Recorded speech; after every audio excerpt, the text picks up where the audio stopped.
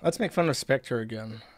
So this is Spectre, in case you don't know. I like this drawing of him. It's really good, actually. Check it out. Uh, so Spectre is someone who has single-handedly brought more drama to Nick Fuentes, or not Nick Fuentes, Nick Rekieta, the other Nick, uh, Nick Rekieta's channel than anyone else because he's he's like I I really don't know what his specific role in the military is. I think that Spectre is U.S. Marine Corps Reserve. He may have been active duty at some point. I think his face is fucked up because of acne. I, it looks like he was burned by like an ISIS fire, like a Molotov cocktail or something. But I think it's like acne. Uh, so he, he we thank you for reminding me. Yeah. Uh, so he, he thinks he's like really hard ass, but what what like okay it's it's really really hard for me to like hate someone on my site uh i like i forget i have terrible memory everyone everyone listening to this podcast over a long enough time realizes that i have horrifically bad like short-term memory it, unless it's really important unless it's a big deal unless it's like seriously impactful or really really funny um i i forgive and forget almost immediately. Doesn't matter what it is. To the point where I I'm almost like too forgiving of people. If they can manage to keep their retard shit spaced out enough, I will I will forgive basically everything because I just don't have the capacity to hold a grudge against someone. But Spectre is someone who managed to earn a very rare position on my shit list because he insisted on saying we. He used the royal we anytime he referred to like his opinion and then the forum. Like he would like become the forum's advocate in specific instances and make claims which were not true while saying we as in him plus the form. and i, hate that and i think actually I hated um, Brian Dunn, King of Pole, for the same exact reason. Like, stop. There is no we. It's you, motherfucker. You are the we, the French we. it's it's you and your opinion. And when you say we and you pretend that you know things you don't, it, it's like, whoa, buddy. I don't know who the fuck you think you are, but it ain't no we. Okay? Like calm down. And he, and he refused. He did this multiple times to the point where i still remember this and I, I had to add like a special disclaimer to his profile saying that like everything I say is wrong and I do not re- represent the Kiwi Farms in any way. Like I had to make that very explicit and people thought it was like a joke he had put there himself, but no, I actually forced that on him so that there would always if someone screenshotted this dumbest shit he was saying nobody would have any any false pretense that the little verified check mark next to his name meant that he spoke for anyone except himself. And i don't think he even does that half the time.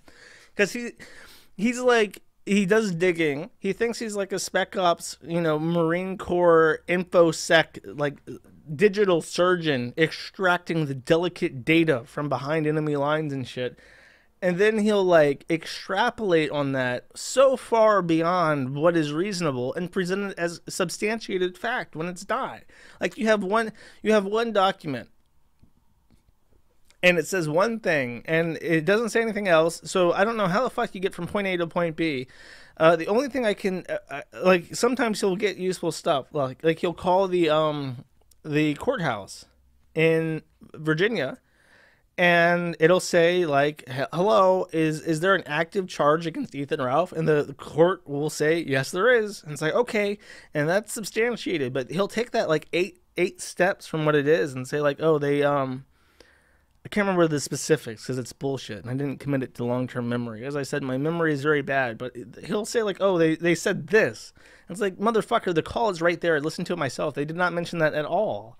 Where are you getting this from and it's, it's super infuriating. But he really, really fucked up because at some point after this thread was made, someone went to me and said that he is deleting posts. I'm thinking, uh, he shouldn't be. he really should not be deleting posts. So when someone deletes their fucking posts, I have to go into the database and run manual SQL queries to figure out what the fuck's been deleted. It's not an easy task. So when I'm tasked to, to look at what he's been deleting and I find a history of like a hundred plus posts that he's deleted over years, I'm not a happy camper. I remember that kind of shit. So I spend an hour undeleting his posts and checking because some of them were deleted just because they're like double posts or whatever the fuck, like legitimate reasons you delete a post. Um, but some of them were not.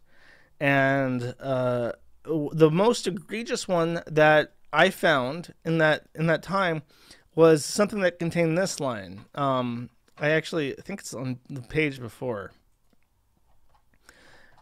I went through. Yeah, th- these are all the posts that I dig up, and I found which ones are these. The ones in red are the ones that were specifically deleted because uh, he wanted to undo them. And the most interesting one that I found was one was where he says this. Dean asked me t- to help him, and I agreed to do so. It's legal as long as I don't claim to be a lawyer or able to resent him in any capacity with the lawsuit. I drafted some of it, proofread it, and gave it to do to Dean to do as he saw fit. There was a brief time, and I don't know if he like still does this or what, but um, he did this thing where Oh, there's no clip of it because it's like a boring thing. But he did like a fake. He he literally like copied Nick uh, Nick Rekieta. He did like a a fake um, YouTube lawyer show because he's not a lawyer. He's like a, a U.S. Marine Corps reserve at best, and he he like someone points out that he lives in in like a trailer with like disability income from the government, and that's that's what he supports himself with. And despite this, he does a show where, where he like pretends he like interprets court documents without any legal understanding of what the fuck he's talking about whatsoever. And um he tried to help this guy called I think it's Dean Asaf. And he's being uh, it was like a frivolous bullshit lawsuit, I think, but he was being sued and Spectre gave this man court documents to file as motions in a legal case. And in this, post that he deleted, he specifically states that he was not a, that uh he gave him shit. He dra- he drafted some of it, proofread it, and gave it to him to do as he saw fit with. He basically gave him legal advice and said, "I can't legally to say that this is legal advice, but if I give you this motion, you can file it if you want to." Just saying. Uh, so it like it would be I would be in the wrong to try and interpret if he did under the the letter of the law in Massachusetts give the guy legal advice, but I do know the um, outcome of this. He, the guy he gave the filing to, from what I understand, is being sued by someone in Texas. And the guy being sued is not in Texas, and he's never been to Texas. So, on its face, it should be a jurisdiction issue immediately. It should be I'm being sued from the state I have no business in, therefore, there is jurisdictional issue. The court does not have jurisdiction over me in Texas. That's a that's a very rudimentary type of filing, and it may not be advantageous to go for that as a dismissal all the time. Uh, for instance, when Russell Greer sued me in Utah, the court he sued me under probably is not the right court to sue me because I have no business in Utah. Uh, but my attorney didn't file a motion to dismiss under jurisdiction because they wanted to go for merits so that the case would be dismissed with prejudice, which it was. So that's a that's a, a legal consideration that a lawyer will have, but because from what I understand, because Spectre gave this guy a motion and he filed it, he now can no longer claim jurisdiction. He can no longer claim that. Uh, so I'll, I'll just read what this says. Update It's official. The court ruled yesterday the guy Spectre was helping by writing his responses in the lawsuit filed against him accidentally waived jurisdiction and his motion to dismiss was denied. One of his co defendants, who had a real lawyer, was dismissed without prejudice from the lawsuit for lack of personal jurisdiction. In the legal thread for the case, Spectre posted that Asaf would be okay because the court would be lenient on a pro se idiot and that Vicky, the other co defendant, was officially safe from the suit when the plaintiff was unable to serve her within 90 days. She was served sometime after that and defaulted by not responding. So it says here from the, the uh, dismissal, starting with this off, the federal rules of civil procedure say that the party can raise certain defenses by motion or in its first response of pleading, including the lack of personal jurisdiction. Though his first response to the FAC, the question, answer that he filed on August 4th, Asaf asserted, asserted several defenses but none were that this court lacks jurisdiction over him. The court can now no longer consider that as a basis to dismiss the claim against Asaf. So he gave him a filing and he said, "Trust me, bro, this is this makes sense." So the guy files it thinking, "Oh, okay, I guess it makes sense. It'll be safe for me to file it." What's the worst that can happen? Well, the worst that can happen is that now his easy get out of jail free card of this court has no jurisdiction over me is no longer possible because he forfeited that, and any attorney in the country would know if he filed that motion without trying to plead jurisdiction, he would lose the ability to plead jurisdiction. They would all know that because they went to school for three fucking years to learn this shit, which Spectre did not. And Spectre gave this man bad legal advice uh, and it, it fucked with him because now if this Asaf guy wants to continue to, to file, he's probably going to want to get an attorney. And the attorney is going to look at this and go, I can't believe you filed this bullshit. We could have gotten this dismissed in the first filing for jurisdiction. Um, but now I'm going to have to undo the damage and it's going to cost several thousand dollars. Uh, so that's why you don't take free advice. Uh, you get what you pay for when you pay for a lawyer. And if you pay nothing, you will get uh, equally, uh, equally I don't know. You'll get what you pay for, which is nothing. You'll get shit. Is what I'm trying. Uh, what I'm trying to say very eloquently is that you'll get bad advice. Isn't it kind of silly that the court wouldn't say it themselves? All I can think about it is some child saying no takey backseats. The courts can, at their discretion, file a motion sua sponte, which means on its own, right? Spontaneously. Um, they can.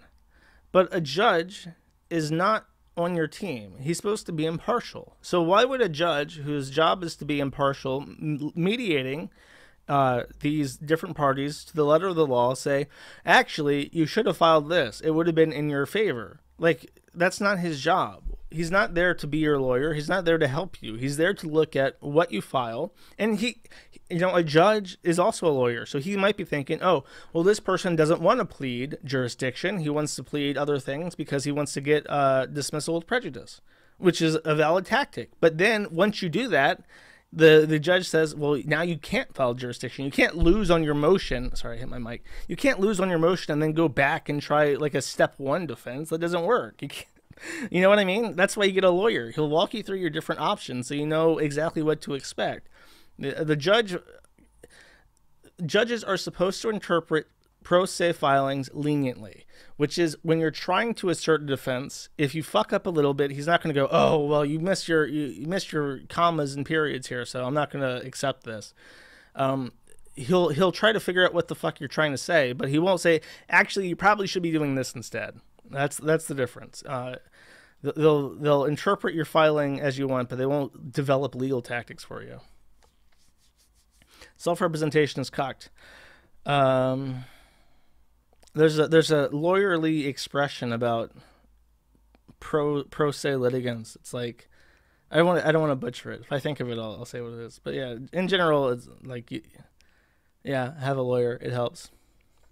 Legal taco job. Yeah, no shit. Now I'm now I'm knocking off Nick. Uh, Nick. I keep calling him Nick Fuentes. I feel like such an asshole.